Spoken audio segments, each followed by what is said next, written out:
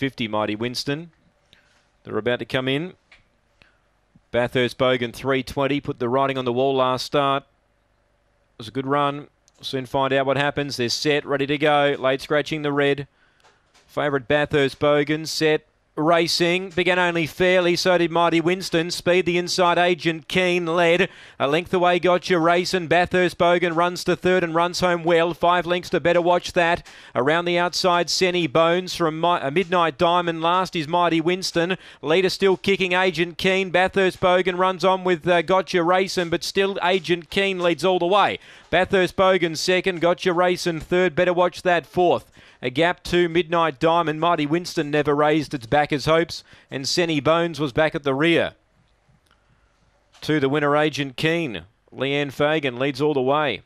Bathurst Bogan second. Gotcha Racing third. Two, four, and three. Five gets fourth. Better watch that. Two, four, three, and five. 22.95. Length and a half. The winning margin by a length and a quarter. A length and a half by a length and a quarter. And it's 2, 4, 3 and 5. 2, 4, 3, 5. 874 early. 1421 the run home.